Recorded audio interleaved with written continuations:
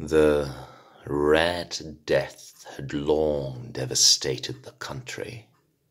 No pestilence had ever been so fatal or so hideous. Blood was its avatar and its seal, the redness and the horror of blood.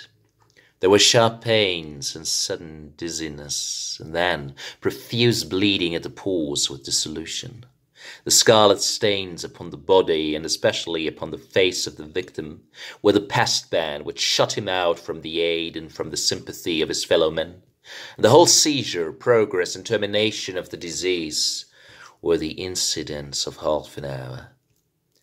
But the Prince Prospero was happy, and dauntless, and sagacious. When his dominions were half depopulated, he summoned to his presence a thousand hale and light-hearted friends from among the knights and dames of his court, and with these retired to the deep seclusion of one of his castellated abbeys. This was an extensive and magnificent structure, the creation of the prince's own eccentric yet august taste. A strong and lofty wall girdled it in. This wall had gates of iron, the courtiers, having entered, brought furnaces and massy hammers and welded the bolts.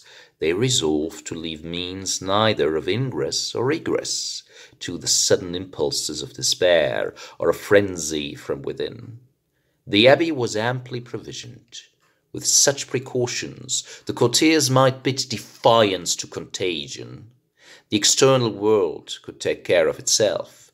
In the meantime, it was folly to grieve or to think.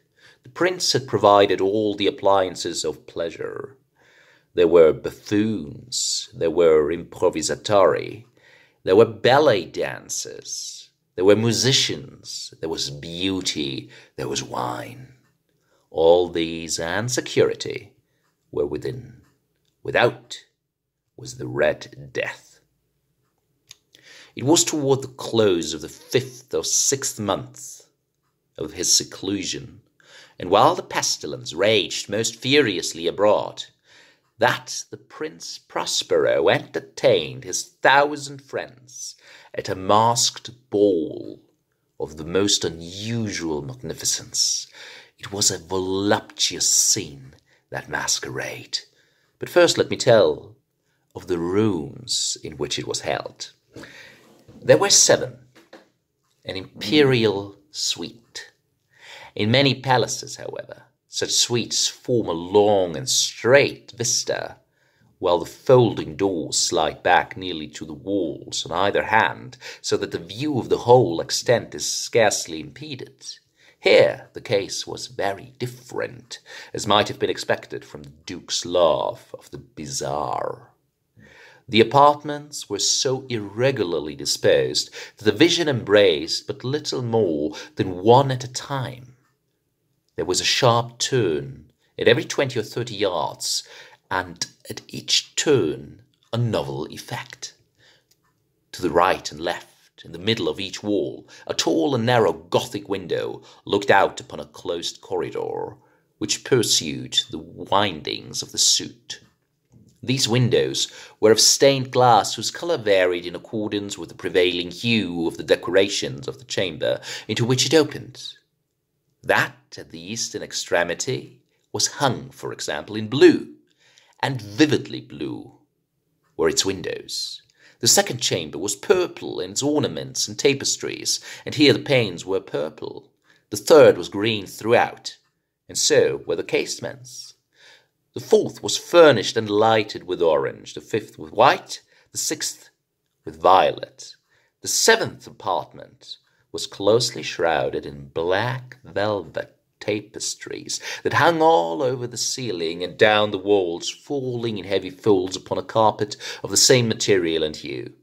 But in this chamber only, the color of the windows failed to correspond with the decorations. The panes here were scarlet, a deep blood color. Now, in no one of the seven apartments was there any lamp or candelabrum amid the profusion of the golden ornaments that lay scattered to and fro or depended from the roof. There was no light of any kind emanating from lamp or candle within the suite of chambers, but in the corridors that followed the suite there stood opposite to each window a heavy tripod bearing a brazier of the fire that protected its rays throughout the tinted glass and so glaringly illumined the room. And thus were produced a multitude of gaudy and fantastic appearances.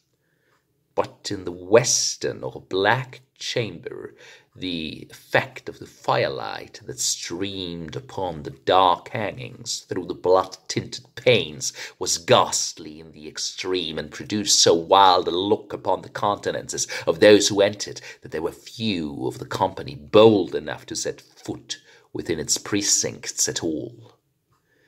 It was in this apartment also that there stood against the western wall a gigantic clock of ebony its pendulum swung to and fro with a dull, heavy, monotonous clang, and when the minute hand made the circuit of the face and the hour was to be stricken, there came from the brazen lungs of the clock a sound which was clear and loud and deep and exceedingly musical, but of so peculiar a note and emphasis that, at each lapse of an hour, the musicians in the orchestra were constrained to pause momentarily in their performance to hearken to the sound, and thus the waltzers perforce ceased their evolutions, and there was a brief disconcert of the whole gay company, and while the chimes of the clock yet rang, it was observed that the giddiest grew pale,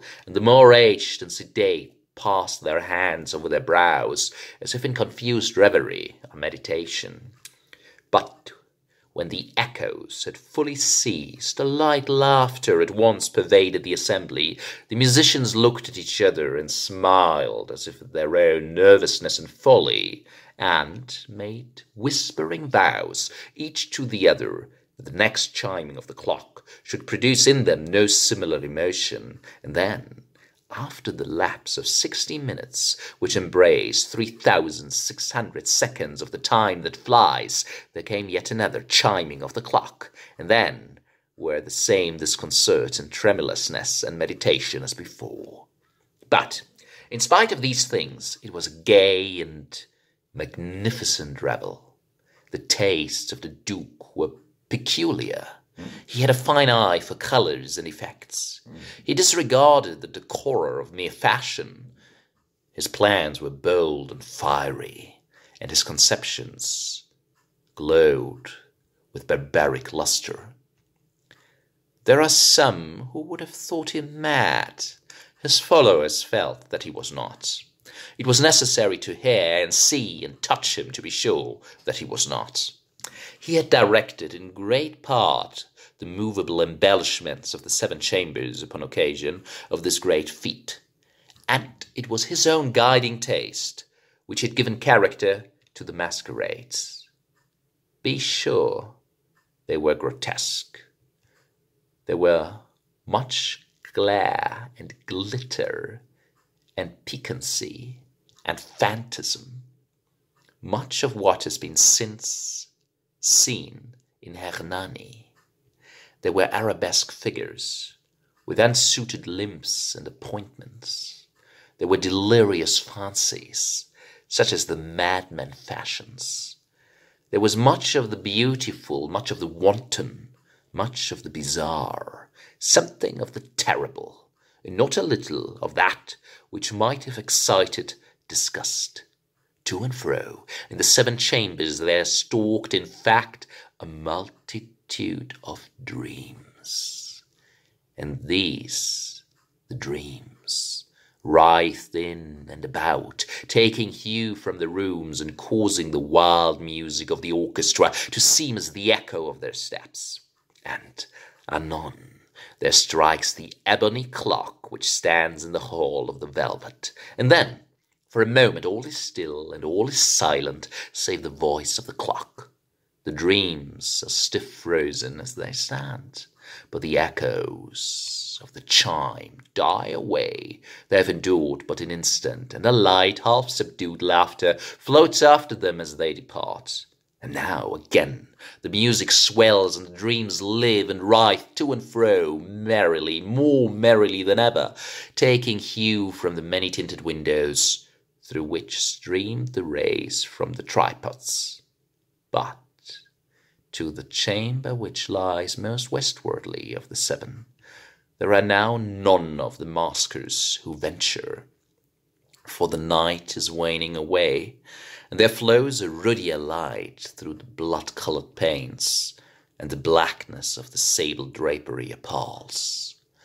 And to him whose foot falls upon the sable carpet, there comes from the near clock of ebony a muffled peal more solemnly emphatic than any which reaches their ears who indulge in the more remote gaieties of the other apartments.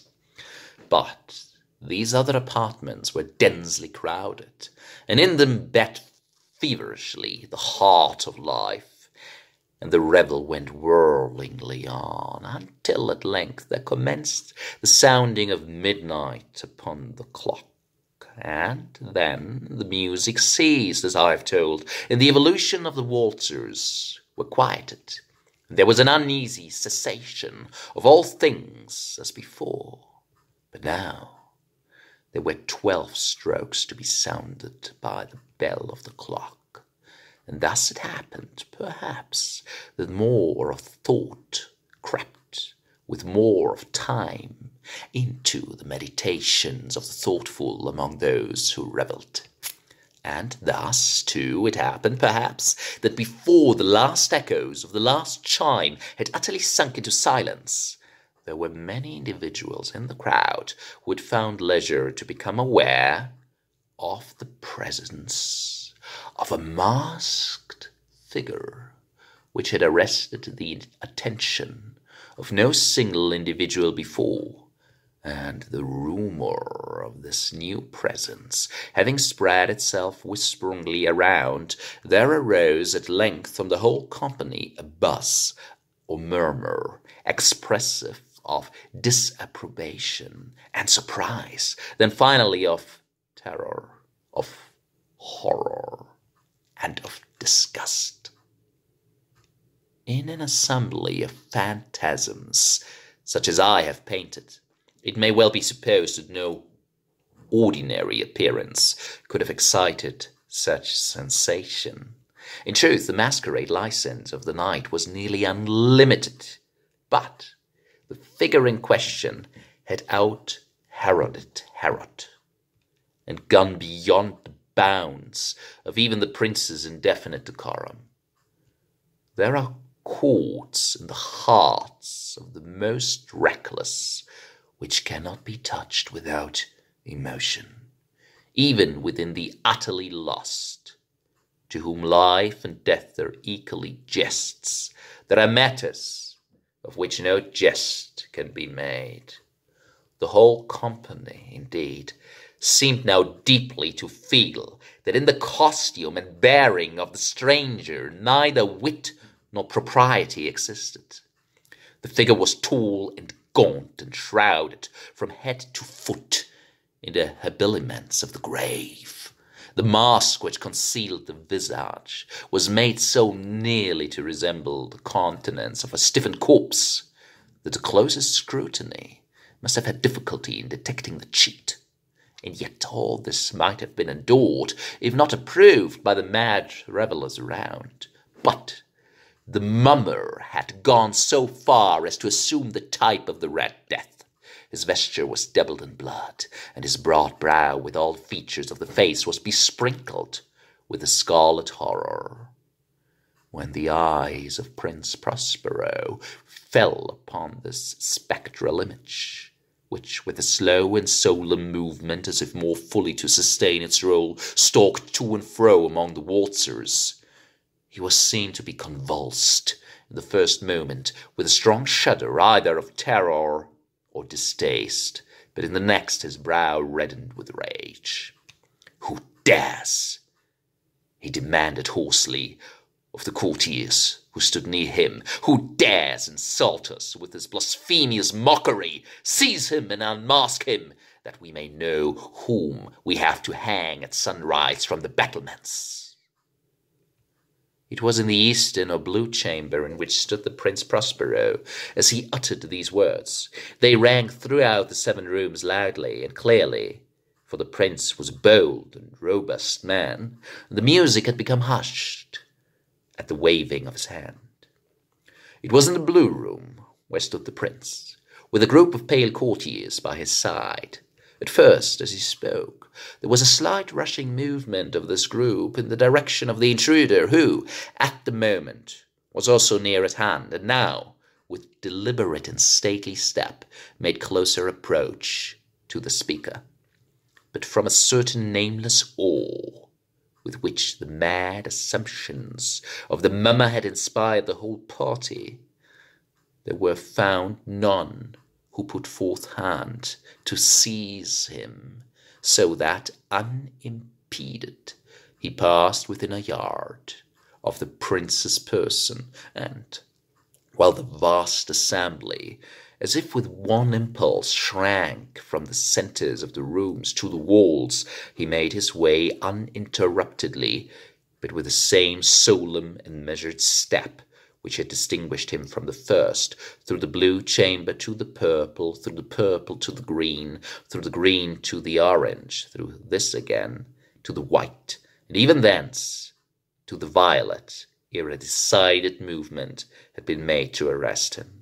It was then, however, that the Prince Prospero, maddening with rage and the shame of his own momentary cowardice, rushed hurriedly through the six chambers, while none followed him on account of a deadly terror that had seized upon all. He bore aloft a drawn dagger, and had approached in rapid impetuosity within three or four feet of the retreating figure, when the latter, having attained the extremity of the velvet apartment, turned suddenly and confronted his pursuer. There was a sharp cry, and the dagger dropped gleaming upon the sable carpet, upon which instantly afterwards fell prostrate in death the Prince Prospero.